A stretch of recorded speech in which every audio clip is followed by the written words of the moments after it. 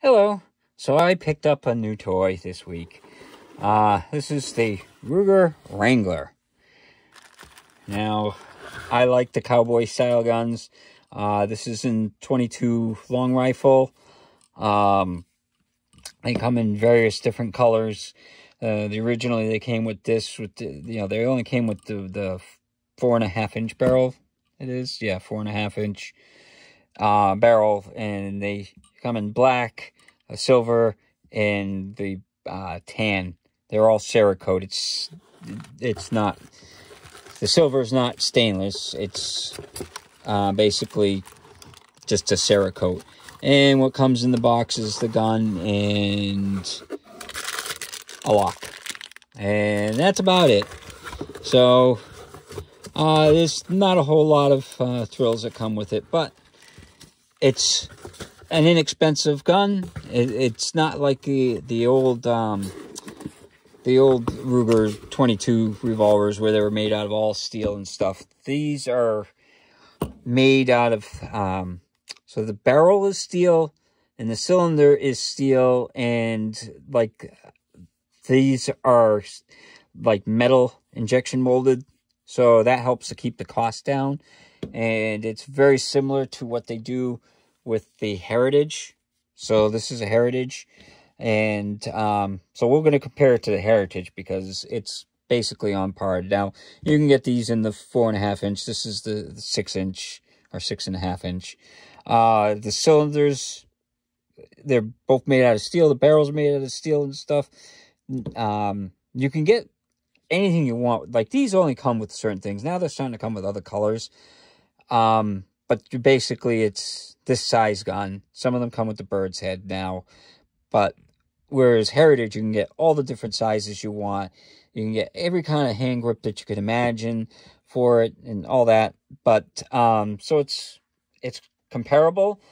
Uh, the price on this now I bought this for two hundred and twenty five dollars new, whereas these uh, this is like one hundred and seventy dollars new. Now what do you get for the difference? Well, um, the Heritages, they're nice guns, but the, the fit and finish is okay. Like, see, I got, like, scratches on mine already. Um, so, the, that's the downside is it's it's like a painted coat or something. I mean, if it's a Cerakote, it's not a very good uh, coating on there. So, um, I don't know how well this is going to last on that. Uh, but you can see the fit is the fit and finish is really nice comparatively. So, uh, but it's Ruger. It's a Ruger. They got a name to uphold. Uh, one of the differences, like this, when you open up, if you want to turn the cylinder, you have to put this at half cock to do the cylinder, which is a typical Western style revolver. It's like that. Where is this one? They you just open it and it, which is very nice. It's nice and smooth, and then when you close it, it you can lock it into place. Doesn't have any half cock though. It's literally like it it has no half cock at all. So it's either all the way back or all the way forward. And this has got a transfer bar. So basically, um, when the trigger is pulled, it pushes the bar, holds it in place, and then it uh, strikes. So if you let go of the trigger and you drop the hammer, the, the transfer bar won't be there and it won't go off. Whereas this one, it's got no transfer bar. So it's just a straight into the uh, firing pin. Um, it's more simplistic. This is probably safer than that style. Um, this has a safety that they put on it, which I don't know why they bother because I have yet to ever use that. Uh, whereas the Ruger does not have a safety like that. So it's more, it looks more traditional. Um, but, you know, it's little differences. Uh, I like the Heritage because I can get the 22 mag uh, cylinders in it and just interchange it. Uh, to my knowledge, you can't do that with the uh, Rugers yet. Uh, maybe they have it now, but um, I have not seen them yet. So, um, yeah. So let's get a uh, trigger pull and a weight. So, oh, so this is 30 ounces. And now, on their website, they say that you can dry fire this. Supposedly, the firing pin doesn't go far enough that it would hit the uh, cylinder. So, I'm just going to do that for the trigger pull and see what we get for a trigger pull. So, the trigger pull on this is... I got five pounds, one ounce. So, I, it's it's an okay trigger. Um, it definitely's got a, a definite feel to it that's kind of different, but uh, it's brand new, so it may wear in and just feel smoother than what it is now. The grips are a little bit different too. So look at, see how the Heritage is wide through? This is narrow, and uh, it it feels nice. It does. Uh, I'm used to the other ones, and this feels like if you got small hands, which I got smaller hands, so it feels nice. Um, and it's got nice checker texturing on it. But, I mean, this, this one doesn't because I wanted the pearl grips. But, yeah.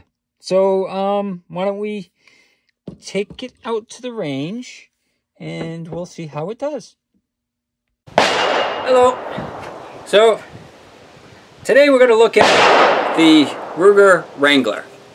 It's in 22 caliber. Eh, if you've seen my channel before, you know I like the old Western style guns.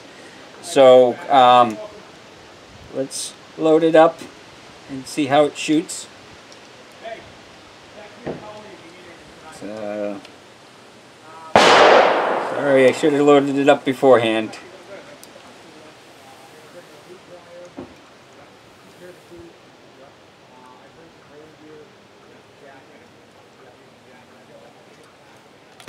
Okay, so we're all loaded up and we're going to be firing the Winchester bulk ammo, 38 grains. So let's see how it shoots.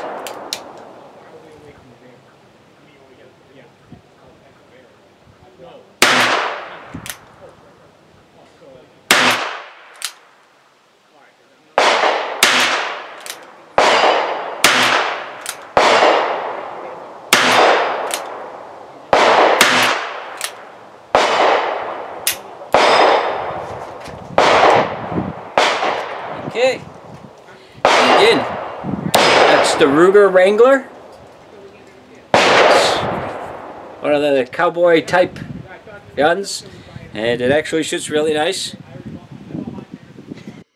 So out at the range, we had zero hiccups.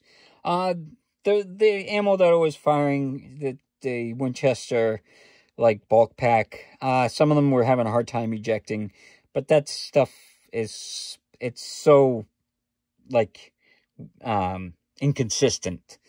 So I, I don't blame the gun on that. That's something that when you buy the bulk ammo, you get stuff like that.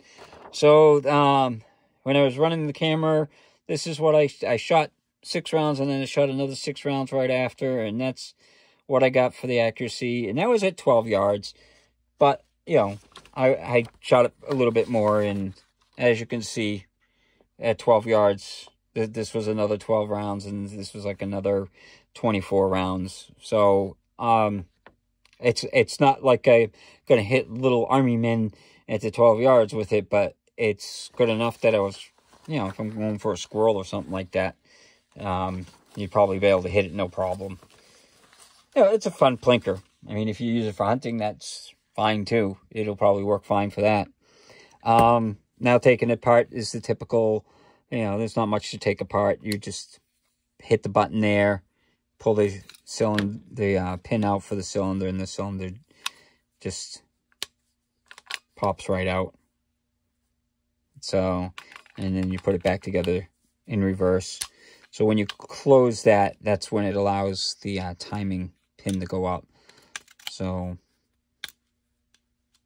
there you go. And then that's back together and then you need to make sure it's you turn the cylinder so that way because if you if you do that and you spin it it's kind of random and if you try to cock the hammer see like i'm getting resistance so what you got to do is you got to lock it into the, the thing and then it'll work So don't force the hammer. If you get one like that, make sure you spin it. After you take it out like that, don't just try to pull the hammer. Turn this until you hear the click. And once you hear the click, it's all set to go.